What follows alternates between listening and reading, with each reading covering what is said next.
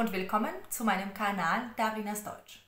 Heute mache ich ein besonderes Video für dich und zwar meine eigene Erfahrung bei der Prüfung Goethe-Zertifikat C1. Ich bereite viele meiner Studierenden und meine Schülerinnen und Schüler auf diese Prüfung vor und wollte wissen, was eigentlich da abläuft und wie die Prüfung in der Realität aussieht. Ich habe meine Prüfung erfolgreich bestanden. Hier kannst du mein Zertifikat sehen und ich möchte dir ein paar Tipps geben, die du wirklich brauchen wirst, wenn du zu einer Prüfung gehst oder wenn du wirklich dich auf die Prüfung Goethe-Zertifikat vorbereitest. Starten wir mit allgemeinen Sachen. Die Prüfung dauert fast einen Tag. Meine Prüfung hat von 10 bis 17 Uhr gedauert und ich hatte dazwischen ungefähr eine Stunde Pause. Es besteht aus vier Teilen. Sprechen, hören, schreiben und lesen. Ich werde im Nachhinein zu jedem Teil ein Video drehen und erzählen, was ich da erlebt habe oder wie es verlaufen ist.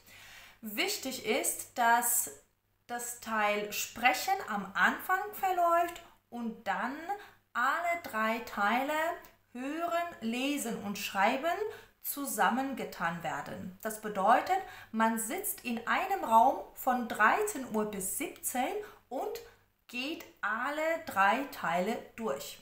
Hier ist es wichtig, was ihr dabei haben sollt oder vielleicht sogar auch müsst.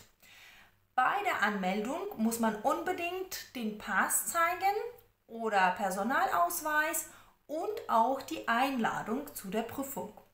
Ihr dürft auch mit in den Raum einen Stift mitnehmen, einen Kugelschreiber, einen Fühler.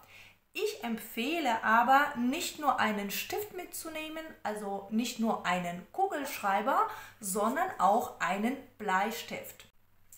Ich hatte diese zwei Sachen dabei, also ich hatte einen Bleistift mit einem Radiergummi und einen Stift, der gut geschrieben hat. Warum ist es wichtig? Wenn ihr schreibt, schwitzt manchmal dieser Teil von eurer Hand und der Stift oder ein Kugelschreiber schreibt nicht immer. Wenn man aber schnell schreibt, hat man ein bisschen Panik, dass paar Sachen nicht aufgeschrieben werden. Zum Beispiel, wenn ihr Notizen macht. Daher funktioniert der Bleistift immer.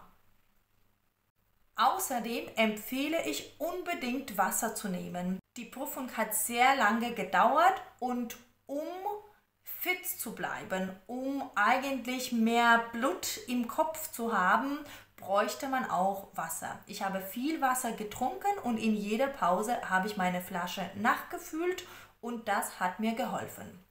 Vielleicht wäre es auch nicht schlecht, Traubenzucker mitzunehmen. Traubenzucker hilft ein bisschen, unseren Blutdruck zu erhöhen und auch weniger müde zu sein.